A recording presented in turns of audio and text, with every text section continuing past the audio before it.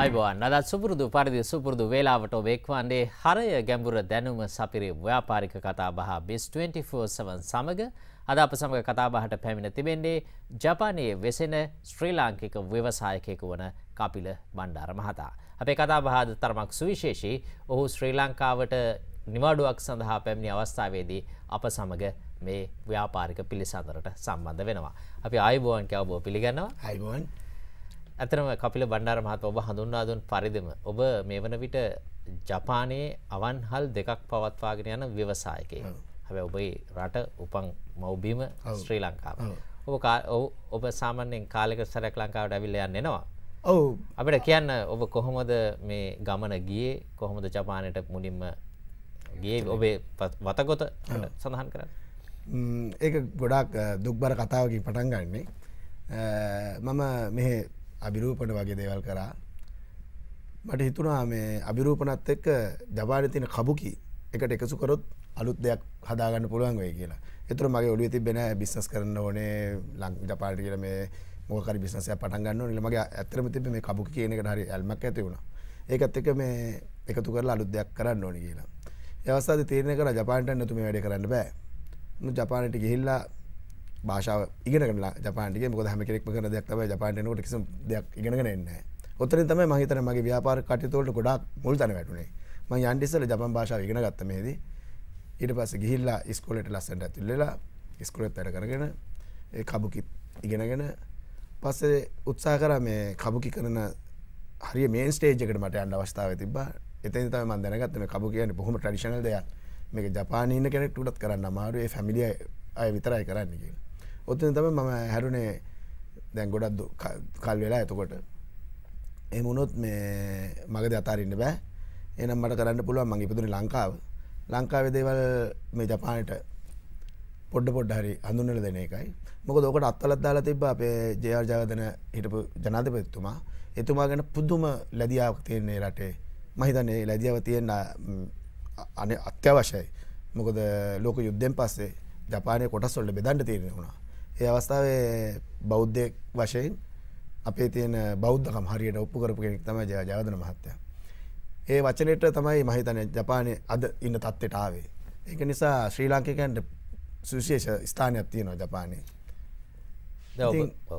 මේ අවස්ථාවේ ඉස්කෝල යන කාලේ ඒ ජය ජන මහත්තයාගේ වචන තිබ නිසා මට ගොඩාක් මගේ අහල පාල සිටිය ජපනිස් කට්ටිය මට උදව් කරා ඒ උදව්වෙන් තමයි මගේ ජීවිතය ජපානය පටන් ගත්තේ ඇතනද ඔබ කොයි කාලද මේ ඔබ සඳහන් කර පාසල්? ඔබ පාසල් කොහෙට ගිය? කොයි කාලද මම අවසාන වශයෙන් ගිය තර්ස්ටන් විද්‍යාලය උසස් පෙළිවර වෙලා ජපන් භාෂාව ඉගෙනගෙන මම එක්දස් නමසය අනු තුනේදී මේ රටින් පිට වුණේ. පිටවනේ කබුකි ස්වා කබුගේ ගමන ඇතරම ඒක තමයි මගේ අරමුණ වනේ විශ් ඔබ පාසලකට තුළතුනක ඔබ මේ කබුගේ කෙන කබුගේ මං ජපන් භාෂාව විස්සල්ලා අපිට ග්‍රජුවට්ෙන්න්න නවා ඒ අතරතුර කප කිස්කොට අන්ඩ පුළුවන්. ඉතින් ඒ ජීවිත හරිම කටුකයි. මොකද කෝටි ගලන් සල්ලි වියදන් කරන්නන ජපානය ගෙන ගන්න. නමුත් මට මගේ හිතවත් ජපනිස් කෙනෙක් ජපාන තින හොඳම රස්සාාව කියල දුන්න. ඒ රස්සාාව කරොත් හරියට කකුල් දෙකින් හිටගන්න පුළුවන් කියලා පත්තර බෙදන එක ජපානය. උදේ දෙකට නැගටින් ඕනේ. දෙකාමාරට පත්තර දෙසේ පනක් තුන්සිය කරගෙන සීතලේ. මං ඉස්සල්ලම දැක්ක හිම හරිම කටුක හිමද නොද හිම දක්කම ලංකාව කට්ටි ගොඩක් සන්තෝසනවා මං ඉස්සලම ඇඩුවේද හැවිදකට බැරුව. මේ ඇගිලි දෙකරට බෑ. නමුත් මට මහත්තය කිව්වේ මනුස්සෙක් ගොඩාක් උඩ පනින්ට නම් ගොඩාක් පහත්තෙන් ඕනි කියලා. ඒක ජපන් වචනයක් මහරි ආදරය කරන වචනයක්. මං මගේ මේ ලංකා ව්‍යාපාර කරන යටත් මං කියනවා හුඟක් පහත්තුනොත් උඟක් උඩ පනින්ට පුළුවන්. චුට්ට පාත්තල පැඩ්ඩ චුට්ටයි පනින්ට පුළුවන් මට කිව්වේ එතකොට ඔයා දැන් ඔය හුඟක් පාත්තෙන් හදනවා කියලා. තාම පාත්තෙන් හදනවා කියලා. හොඳට පාත්තච්ච දවස උඩ පැල්ල බලන්න ගොඩාක් උඩට පනින්න පුළුවන් කියලා. ඔබ ඒ විදිහට පාත්වලා ලොකු උඩක් පැන්න. මං ගොඩාක් උඩ පැන්නා. එතකොට කොහොමද ඔබ දැන් ඔබ සඳහන් කළා දැන් මේ අවන්හල් ජපානයේ දැන් ඔබේ අවන්හල් කොහෙද පිහිටලා තිබෙන්නේ? ඔව් මගේ මං ඉස්සල්ලාම මගේ වචනත් තිබ්බ දෙයක් කරනවා නම් මේ යුද පිටිය කරන්න ඕනේ කියලා. ඉතින් මගේ අවන්හල මං තීරණය කර ඉස්සල්ලාම ඇයි අවන්හල දාන්න ඕනේ කියන එක අපි ඇවිල ශ්‍රී ලාංකිකයෝ අපි ඉන්දියාව අසල ඉන්නේ. ඉතින් ජපන් ජාතිකයන්ගේ අදට තින ප්‍රශ්නයක් තම අපේ රට ප්‍රමෝට්ටලා හැරියට. සල්ලි දන් කරට ඩක්න මනුසගේ හදවතර කියල්ලන අපි. ඉති ම උත්සා කරන හමේලම හදතර යන්න.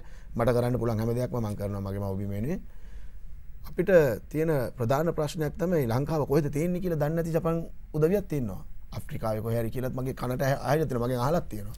එතකොට අහනවා අපි අධික ෂර්ට් අඳිනවද? කියලා. ඉතින් ඒ වගේ අපේ රට පිළිබඳ තියෙන දැනුම බොහොම අඩුයි. මේ අවස්ථාවේ මට හිතුන අපි කන්නේ මොනවද කියලා මගේ මාත් එක මේ අවුරුදු විසි ගණන් ඉන්නකොට මිනිස්සු මගේ අහනවා ඔබගේ රට කොහොමද? මොනවගේ දවාගේ රටේ කෑම? ති මේක ඔක්කොගෙම තිබ මේජත්තම අපි මේ ඉන්දියාව වගේ ඉන්දියාව කෑම කන්න කියලා. නමුත් අපිට හොඳ හොඳ ආහාර වෙලත් තියෙනවා හම බරහාල වෙලත් තියෙනවා. මහිතනය ආයුර්වේද සම්තෘප්තෙන්ම ඇතුලාංග වෙච්ච ආහාරයත්තම ශ්‍රී ලංකන් ෆුඩ් කියන්නේ. ඉතින් මේ ගැන පැහැදිලි කරලා කටින් බෑ. එනම් හදල පෙන්න්න හදල පෙන්න්නනවා නම් හොඳ තැනක තියෙන්න්න රෙස්ටෝරන්ට් එක. නැතුව ටිකක් ඇතර ගමකට වෙන්ට තිබට ආයක තන ලංකා වෙස්ටොන්ට තියන විතර ඇවෙන නමුත් හාට්ටකට එකන මාස තුනක් කඩකුලි ගෙවන්න බැරුත් ම බ්‍රෑන්ක්‍රප්ට වගේ තැනකට මං ඇවිල් ඉන්නේ. ඒ තරම් ලොකු කුලියත් තියන මොකද මගේ අවන්නහල රප් කට්ටිය දන්න මගෙනුත් අහනෝ කපිල ප්‍රශ්නයක් නැද්ද මෙතන කරාට? කියලා. මොකද අහල පාලින්න ජපන් කට්ටිය පව පුදුමෙනවා මේ ශ්‍රී ලංකන් ෆුඩ්ඩි කරලා මේ රෙන්ටක ගෙවන්න පුළුවන්ද කියලා. මොකද මගේ වැඩ කන ස්ටාපයත් ඒ උඩම් බිල්ලින්න එක ඉන්නේ. ඕ කරගෙන යන්න පුළුවන්ද කියලා. අද වෙනකොට ම හොඳ තත්කට ගෙනල්ල තියෙන මගේ රෙස්ටෝරන්් ඒවගේම ජපානි තියෙන මීඩියස් වල ටීවස් වල තකොට එන්ස්කේ වල ඒවගේම මැගසින් වල අපේ ෆුඩ් එක ඉන්දියන් ෆුඩ් එකට වැඩිය අව යම කියන තැන. ඕක මිනතුකෝ කියලා කියනවා රජතුමාගේ ගේ තියෙන්නේ මේ ඒරිය එක ඉතින් රජතුමාගේ පුතාගේ ගේ තියෙන්නේ මගේ අවන්නල තින බිල්ඩින්න එකට මීට එකසිය පණහක් විතර ඇතින් ඒගැන් අන්න ඒවගේ සෙකුරිටිය එකක් තියෙන ගොඩාක් මේ වියදන්තින තැනක. මොකද මං එතැන්ට එන්ඩ තීරණය කර එතනිදං අපේ තානාපතිකාරයටත් වහනක නැගොත් විනාඩි පහලක් වගේ යන්නේ. ඉතින් ඒවගේම ඕන කෙනෙකුට අයිඩෙන්ටිෆයි කරගන්න පුළුවන්. ඒවගේම කවරුවර කෙනෙක් දැනුවත් නොදුනත්කමත් තියෙනවනම් හලපාල ගන්නකට අරුගන ලංකාව කොඩිවත්දකිනවා මං ඒක තම තීරණය කර. දෙයක් කරනවන යුද පිටිය කරොත් එක්කෝ දිනවා නැත්තං ඉක්මට මැරෙනවා. එතකොට දැන් මොන ඔබ ශ්‍රී ලංකා ශ්‍රී ලංකයේ ආහාර තමයි ජපාන සම්පූර්ණ සීර සීයක් ශ්‍රී ලංකන්න ආහාර තියෙන්නේ. ලංකාව කෙනෙක්කාවත් ජපනිස් කෙනෙක්කාවත් ඒ පවත්වන ස්පයිසි ගතිය ඒ විදිමයි මොද කණ්ඩ බෑ කියල කෑගහන දැවිල්ලා කියලා. නමුත් අන්තිම වෙනකොට මුළු ප්ලේට් එකම කාලයන්නේ අපි මද විරාමයක් ලබගෙන විරාමෙන් පසුව නැවතත් කතා බහ සමඟ. විරාමෙන් පසුව නැවතත් එක්වන්නේ බිස් 24 සවන් කතා බහ සමග. අද අප සමග කතා බහට පැමිණ තිබෙන්නේ ජපානයේ වෙසෙන ශ්‍රී ලාංකයේ ව්‍යවසායකයෙකු වන කපිල බණ්ඩාර මහතා. ඇතරම දැන් ජපානයේ ව්‍යාපාර කටයුතු කරන එක අමාරුද? එක පට පටන් ගන්න එක කොහොමද? ඔ ඇතර අපි ලංකාවීදන් කල්පනාකරොත් දෙක සෙල්ලම් දෙයක් නෙමෙයි. අනිත්තක මංහිතන්නේ මම ආඩම්බරෙන මං ගැන. ඒවගේ මම ආඩම්බරෙන මාත් එක මට උදව් කරපු මිනිස්සු ගැන. මං ජපාන ඉගෙනගත් එක වචනයක් තමයි කෙනෙක් උදව්වක් කරොත් ඒ කෙනාට ආපව ප්‍රති උදව්වක් කරට වැඩක් නෑ. මොකද එය හොඳ තත්වකින් ඉද කෙනෙකුට උදව් කරන්නේ. මට තොර ජපන් මහත්තර කියල දුන්නේ ඔයා මට උදවක් කරන්න එප. ඔයා වගේ නැගටින්න කෙනෙකුට නැගටින් හදර කෙනෙකුට දවක් කරන්න. එතොට තම මේ ව්‍යාපාරලෝක ලස්සනට කැරකෙන්ට පටන්ගන්න ඒක හොඳ වචනයක් වුණාමට මොකද ව්‍යාපාරයක් කරනකොට ඔක්කොම කම්පිටිෂන එක තරගත්තර තියෙන නමුත්තේ තරගත්තය කියන්නේ මේ මාකට්ටකටයි නතු අපි අපි අතරනෙවෙයි ඉති මේක වරදගෙන ඉන්න මේ මාකට්ටකන්න කට්ටම එක එක්කනත් අතර ගැට්ටනයක් ඇති කරගන්න නමුත් ඇති කළ යුත්තේ මාකට්ගත් එකයි අපි ෆයිට් කරන්න නතු අප අපි ෆයිට් කරන්න ඔන්න ඒකමට කියල දුන්න. එකට ජපානය ගැන දියුණු රටක් ලෝකේ. ලෝකයේ දැනටත් ඇතරම තුන්වනි ආර්ථික මේ වනට. ඇමරිකාව චීනයට පස්සේ ඉස්සර ලෝක දෙවනි ආර්ථික බට පත්ලා හිටිය. ඔබ කියන යුද්ධ පිටිය පොර පිටියකට ගහල ඔබ මේ සියල්ල කරන්නේ. එතර ලාංකිකයකු ලෙස ඔබට ආපසු හැරල බලකට මොකද හිතෙන්නේ? අපිට අපේ තරුණයන්ට මොකද කියන්න තියෙනකට මං ඇත්තර මේ රට ගොඩාක් මේ මේ එන හැම හැම වාරකම දවස් දහයකට පහලකට වැඩින්න නැත්ත අරිමරන මාසයකින් හම්බෙන්න මට. ඉතින් මගේ මාතික වැඩ කරන මගේ ස්ථාපික කට්ටියත් එකම හැමිලින් පාරයනකොට හිතන්නේ ගොඩා අපේ කට්ටිය නිකං බලාගත්තද බලාගෙනන්නවා මයිතනේ කරන්න දෙයක් නෑගිල හිතන නැති. නමුත් ඔය දිරිතුවන මමත් අද මෙතන නෑ මොකද කවරුත් මටකි වෙන ජපානටන්න වට දියුණුවෙන්ට පුළුවන් කියලා. අපි හොයා ගත යුතුයි. මං හැරිල බලද්දි මං ඇතර මංගන සතුට වෙන්නේ මේ කරන්න බැරි දේවල් කරන්න ඕන අපි. කියක් නොද ජපානට දැම මගේ අවුරුදු විසි හතරවෙනි අවුරුද්ධ ලංකාවට එන්න බලාපොරත්තුවන්න පසු. මං ඇතරම දැන් අවංකෝම කියනවා නං ලංකාවට මට එන්ඩ අමාරුවෙයි. මොකද ම ලංකාව මේ වෙනසක් දකි නොනෙමයි මන් දැන් ඒ ලෝකයත්තක මට දැන්ගේ තරග කාරිත්තය ඕනේ. මට අර යුදි පට පිටි ඉන්නතුව මට ගෙදට ඇවිල්ල ම ඇතර මගේ රෙස්ටෝට ම වැඩ කරන ම පිඟ හෝදනවා. ම කලීන් කරනවා. ඒක මගේ ජොබ් එක. මහිත මගේ තරක් නෙමේ ඒරටේ හැම ව්‍යාපාරක්මකට ශ්‍රී ලාංකිකය පවා හොඳ ලංකාවේ හොඳ ව්‍යාපාරික ඉන්නවා. අපි තමයි මේස පිහිදාන්නේ. ඒක අපිට ඉගැන්වේ ජපානේ. නමුත් මත් මේ ලංකාව ඕන තරම් ඔය මේ ප්‍රස්සද විතර තියෙනවා. නමුත් අපිට හැදෙන්ඩ පුළුවන්. මම හැදිල තියෙනවා. මත්තකින් ශ්‍රී ලංකක හැදිල තියෙනවා. මහිතන මේ අප මිනිස් ගොඩක් කියන මේ කට්ටි හදන්න බෑ කියලා. ජතන ජපානය වැසියන්ගෙන් ඉගෙන ගන්න පුළුවන් ආදර්ශයමකත් එක ව්‍යාපාරික ලෝකයේ දිගෙනගන්න පුළුව ආදර්ශයමක එකම දේ තමයි ඒ තින හොඳ වචනයක් ඔතගයි සමා කියලා. මේක ජපනිස් වචනයක් මතන ජපනිස් දන්න කටිය දන්න ඇති. ඔත්තේ ගයි සමා කියන්නේ අපි දෙන්නටම ප්‍රශ්න ඇතිවෙන කවදරයකිද ම ඔයාට උදව් කරන්න ඔයා මට උදව් කරන්න ඕක ජපානයේ බේස් වෙච්ච වචන. ඕකෙන් තම ජපානය හැදුනේ ම රෙස්ටෝරන්ට එකක් කරනවනම් ඔබතුමා රෙස්ටෝන්ටක් කරන ඔබතුම මගේකට එනවා. ඇවිල්ල කාලබිලගොත් මං අනිවාරයෙන් ඔබතුමාලඟට යනවා. ඔබතුමාගේ රෙස්ටෝන්ටගෙන ගෙස්ලට කියන මාගව තියන මේ ෆුඩ් නමුත් අන්න කපිල කරන ශ්‍රී ලංක රෙස්ටෝන්ටයක් මගින් කෑව. ඇත්තට රස නම් මේ වැඩ වෙන්නේ රසනතගන්න වැඩ. මට දැනට ජපනිස් රෙස්ටෝන් කරන බාස් කරන කට්ටියගේ මේ ගෙස්ල මෙහට එනවා. මොකද ඒ මනුස පාඩුවක් කරගන්න. මනුස ගට කණ්ඩේන මනුස මට වෙනවා ඕකතමයිගෙන අපි දෙගොල්ලොට මුදව් කරන්න ඕනි කියලා. ඒ වචන මේ ලංකාව තියෙනවා. එතකොට දැන් ඔබගේ පවුල් කොහොමද දැන් ඔබට දරුවන් හේ සිටිනවාද? කොහොමද අපට පිළිබඳ මම බැඳලඉන්නේ ලංකාවම මගේ බිරිඳ ලංකා ලාංකිකේ. මට දරු තුන් දෙනෙක් ඉන්නවා. මගේ පුතා අවුරුදු දැන් පහලවක් වෙනවා. මගේ දුවට අවුරුදු එකොළහක් වෙනවා. ඊළඟ දුවට අවුරුදු හතක් වෙනවා. අපි ඔක්කොම මේ ජපානි බොහොම සන්තෝසෙන් ජීවත්වෙනවා ඒ ළමයි සිංහල කතා කරනවා. නමුත් සිංහල කියවන්නයි ලියන්නයි බෑ මගේ බල කරන්න න. මොකද මගේ අමතත් ගෙන ජපාන ජපනිස් භාෂාව. මට ගොඩක් කට්ටි කියෙන ඉන්ටර්නශල් දාන්න කියලා. නමුත් ම හැමෙන කල්පනා කරන අපි ලාංකිකයෝ.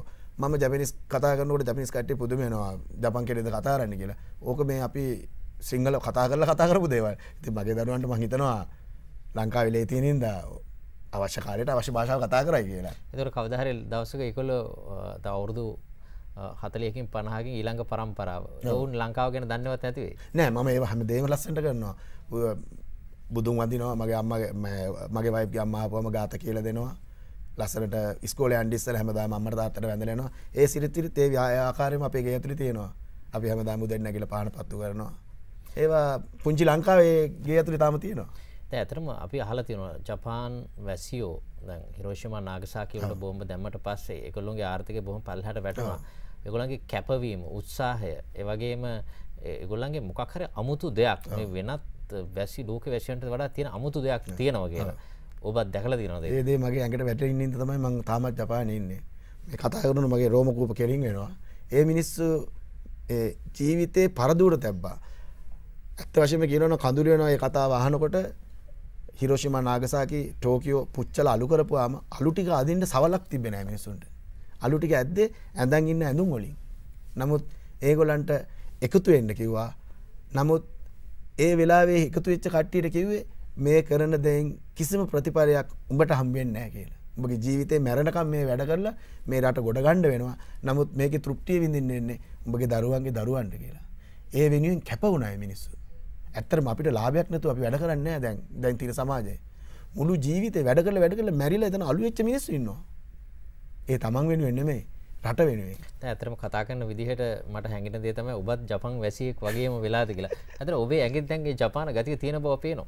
නෑ ඇත්තටම මම තීරණය කරන්නේ මේ අපි සාමාන්‍ය මිනිස්සු අර හොඳ දේ දැක්කාම ඒ දේ වැළඳ ගන්න එකේ මම හිතන්නේ අපේ ලේවල තියෙන දෙයක්.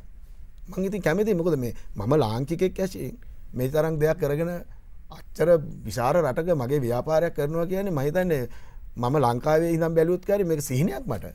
නමුත් ඒ තරමට අත්ත දෙන්න පුළුවන් හදවතක් තියෙන රටක් එක මහිතන මේ ලෝක යන්න හොඳම රට ජපානය ම කියන්නේ. ජපන් වැසියෝ කොච්චර ආචාරශීලීද? අනිත ඔබ අනි රටවල සංචාරය කල ඇති. ඔබට ජපන් වැසියෝගේ ආචාරශීලිත්වය ගැන හොට කියන්න පුළුවන් හොඳම වචනය තමයි මනින්ට බෑ ඒමින්ම අපිට මනින්ට බැරිවේ ඒමින්ම ඒගෙන උන් එතරම් ආචාර්ශීලි.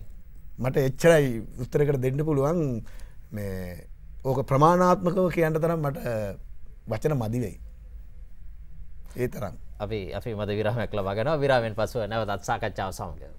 විරාමෙන් පසුව නැවතත් ඔබ බිස් 24 සවන් කතාබහ සමඟ අත් අප සමගද කතාබහ කරමින් තිබෙන්නේ ශ්‍රී ලංකාවේ ජපානයේ සිටින ශ්‍රී ලංකාවේ ව්‍යවසායකයකු වන කපිල බණ්ඩාර මහත. අපේ සාකච්ඡාව අවසාන භාගයට අපි පැමිණ තිබෙනවා. අපි දන්නවාද හෙට ඔබ ශ්‍රී ලංකාවෙන් පිටත්ව යනවා. අපි ඔබට සුභ පතනවා. බොහොම ස්තුතියි. තව තවත් ජයග්‍රහණ ලබාගෙනමින් ජපානයේ ජීවත් වෙන අවාසනාවට ලැබෙන්න කියලා. ඇත්තටම දැන් ඔබේ සමගාමී මිත්‍රයෝ මෙහි හිටපු ඔවුන් ඔබ ගැනම්කද කියන්නේ? ඔව්, ඔවුන් මොනවද කරන්න දැ මේ වනට සමහරු? බහුතරයක්. බෞතරයක් බොහෝම හොඳ ස්ථානවල ඉන්නවා. ලංකායි පිළිගත්ත ව්‍යාපාර ස්ථානවල සේවය කරනවා.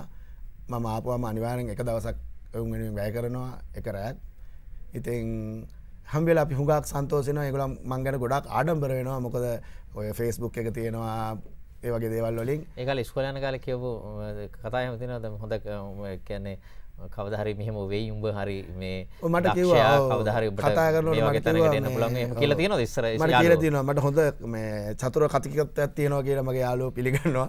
මට කියන ඔබ කොහගියත් කටදීන හිද කොහමරි දිනයි කියලා. ඒවගේම ගොඩක් අපි මොකද මාතක සමකාලීට යාලු ඔක්කොම අපි හුඟක් අනාගත ගැන සීනමව කට්ටිය. නමුත් අපි මේ මේ දේවල් කරන්න ඕන කිවෙන නමුත් අපි වෙනස් වෙන විය යුතුයි කියලා. එක අමුතු දෙයක් අපි කරන්න ඕන කියලා. ඉතින් ජපනිස් ටීවකේම තියෙන දේවල් මං ම සම්බධච ප්‍රෝග්‍රමය ම ෆස්බුක් එකම අප කරනවා. එතුොට කට්ටිය බල ඇතරම තමන්ගේ සහෝදරෙට වැඩි ආඩම්බර වෙනවා. මං ආපිලාට හැමිලේ මැවිල කියනවා අපිට හරිමාඩම්බරම ගැන කියලා. මංහිතර මගේ යාලුත් බොහොම හොඳ තත්තිකින්නවා ඇතුළ ජපානයේ අපේ ඊළඟ පරම්පරාවට ජපානය තුළ තිබෙන අවස්ථාවන් මොනෝද විවිධ අවස්ථාවන් තිබෙනවද අපයට මහිතන්නේ අවස්ථාවන් තියෙන එකම රට ඒවගේ මේ අවස්ථාව නෙලාගණ්ඩ හරිම පහසුම රට ශ්‍රී ලාංකිකයන්ට ජපානය තමයි. මොකද අපිට පුදුම ගරුත්තයක් තියෙන එකම රට මංහිතන්නේ ලෝකේ. අපි යෝ දැක්කාම දනිස් දෙක ගාවට ඔළුවනවන එකම රට. ඉතින් මොකද ඒ ඒ ඔළුව නවන්නේ අපේ ජාතිකත්වයට අපි කරපු මේ පුංචි උදව්ව මහා කප්පරයකට ඒ ජපන් ජාතියන් හිත ඇතුළි තියෙනවා. දැනට මට කියන හොඳ වචනයක් තමයි මේක මහිතන මේ ශ්‍රී ලාංකයෙන් වශයෙන් ආඩම්බර වෙන්න ඕනේ කෙනෙක් නිදිය ගන්නකොට කකුල් දෙක යාගේ පැත්තර දික් කළ නිදියගත්තොත් එක අවනම්බුවක් කියල කියනවා. මට මගේ ඇස්වලට කඳුර ඇල්ල තියෙන වයසක මිනිස්සු කියල තියෙනවා ලංකාව පැත්තර කකුල් දෙක දිග දිගඇරල නිදිය ගණඩ අපිට බැහැ කියලා. ඒ තරම් ගරුත්තය ජයර ජවර්ධන මැතුමයි දා කරපු ඒ උදව්ව උදව්ව. ඔබ දැකලා තිබෙනවද ජාර්ජාවතර මහතාගේ පින්තූර ගෙවල් වල? අනිවාරය ම මේ පාරත් ඇවිල්ලා සෙන්ටර එකටත් ගියා. හැම අවුරුද්ධක මගේ දරුව තුන්දෙන එකගෙන ම යනවා කමකුරාවල තියෙනවා ස්ට්‍රේෂුව එකක් හදලා. මං එතැන් එක්කන්ගේ එතන ලොක බුදු පිළිම ඇතින මහිතන ගේ කටිය ඇති. අනිවාර ගිල්ල නැත්තන් ගේ කෙනෙක් ගිහිම් බලන්ඩෝන එක බොහම අයින හදල තියෙන්නේ. නමුත් දන්න කටිය තැන්ට වෙලා ආචාර කරන මගේ දරුතුන් දෙන එක්කන් ගිල කියනවා තාති මෙතැන්ට ආවේ. මෙන්න මේ වගේ පසුබීමක් හදල දුන්න කෙනෙක් මේ කියලා. මගේ දරුවත් ගොඩාක් ස්ටෝරි හරියටම දන්න නමුත් දන්නවා මේ තාත්ත මොකක්ද කියන්න හදනවා කියලා. ඒක නිසා හැම අවුරුද්ධම අපි ජනවාරි පලවෙන්ද තැන්ට යනවා. ඒක තමයි මගේ පුංචි ආචර කරන තින් එකම ශ්‍රී ලංකාව. ඒ ස්ටැචුව එක තමයි. මොකද ජනරි පලෙන්දර අප අම්මතාත්තකාවට යනවා. මට අම්මතාත්ත හෙනෑ මට අම්මතාත්තර වැඩිය ජපානිද අවස්ථාවන් ලබාදෙන්ට ඒ උදා කරල දුන්න පුද්ගලය මං හැම ජනවාරි පලවෙදම මින් ඉදිරියටත් මගේ ජීවිත තියෙනකම් ජපාන ඉන්නකම් මං ස්ටැචුව එකාවට යනවා. බොහම ස්තුතියි. අපි ඇතරම ඔබෙන් සෑහන ආදර්ශයක් ලබාදීමට තමයි උත්සාහ කරේ. අපි සතුටුයි ඔබගේ පේජයග්‍රහණය සම්බන්ධයෙන්. අපි බලාපොරොත්තු වෙනවා යම් කිසි දවසක යලිත් ලංකාවට ආවම අපි සමග පැමිණ. පිළිසඳරකට එක් වෙයි කියලා. අපි අද කතා කරේ ජපානයේ සිටින ශ්‍රී ලාංකික ව්‍යවසායකයෙකු වන කපිල බණ්ඩාර මහතා සමග ඔහු ශ්‍රී ලංකාවට කෙටි නිවාඩු කාලයක් සඳහා පැමිණි අවස්ථාවේ අපි මෙවැනි සුවිශේෂී කතාබහ මගින් උත්සාහ කරන්නේ මෙවැනි සුවිශේෂී චරිත හඳුන්වා දෙමින් අපේ රටේ තරුණ පරම්පරාවට ව්‍යාපාරික ශේෂත්‍රය පිළිබඳව යම්කිසි ආදර්ශයක් සැපීම සඳහායි. අපි තවත් මෙවැනිම බිස් 24 සවන් සාකච්ඡාවකෙන් යළිත් හමුවමු.